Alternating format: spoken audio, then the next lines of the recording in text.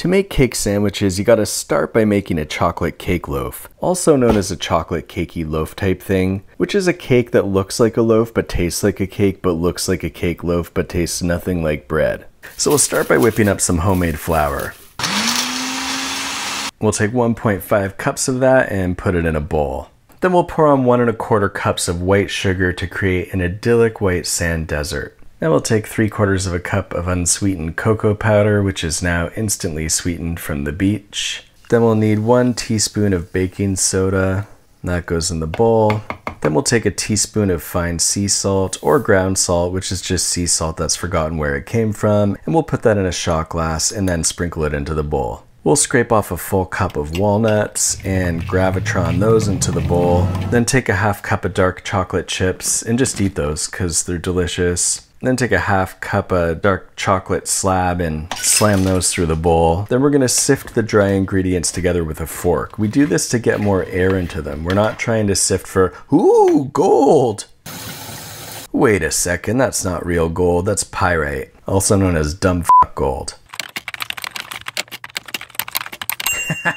Sucker. Now we'll take a fresh bowl and pour in one and a half cups of unsweetened vanilla almond milk. Then we'll squeeze in a half cup of fresh vegetable oil. Then we'll use one teaspoon of pure vanilla extract. You can use impure vanilla extract, but keep in mind that impure extract is going to hell, so it might contaminate your soul. And we'll take one teaspoon of apple cider vinegar. Whoop! All right, and a quarter cup of raspberry jam. Now we're going to whisk this all together till the oil is well combined. If you want to do it at twice the speed and half the time, you can also use a set of whisk chucks.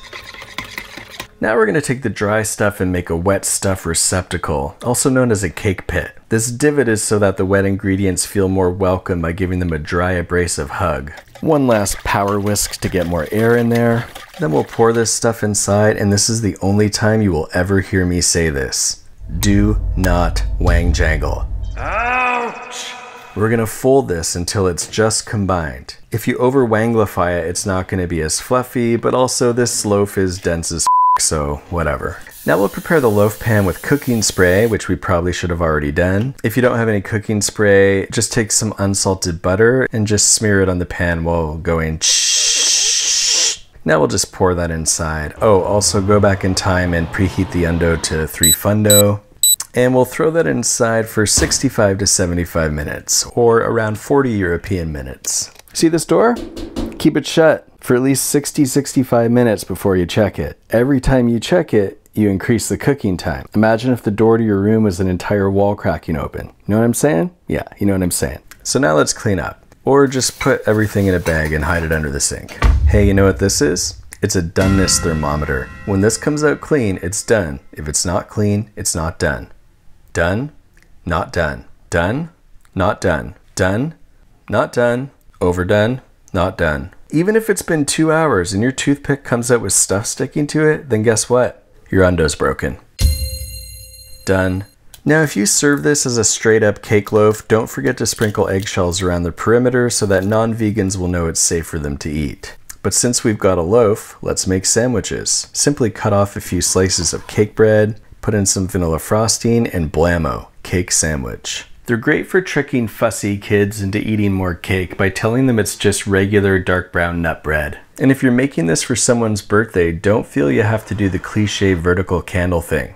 If it's an adult's birthday, it's way more respectful to use adult sized candles. Also, you can serve the cake vertically. And then as the candles fall and start everything on fire, you give the person whose birthday it is a chance to save the day, which is the most fantastic birthday gift of all. Happy birthday to you. This video is sponsored by HelloFresh, which makes cooking really good meals at home a reality even if you're not super comfortable in the kitchen. But if you are comfortable in the kitchen, the 20 plus weekly curated recipes can help you out of a rut if you want to switch it up and learn something new.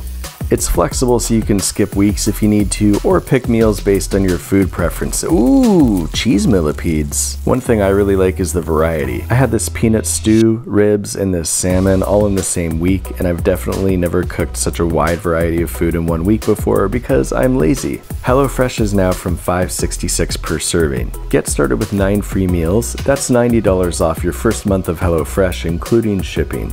Go to HelloFresh.com and enter YSAC9. That's HelloFresh.com and enter YSAC9.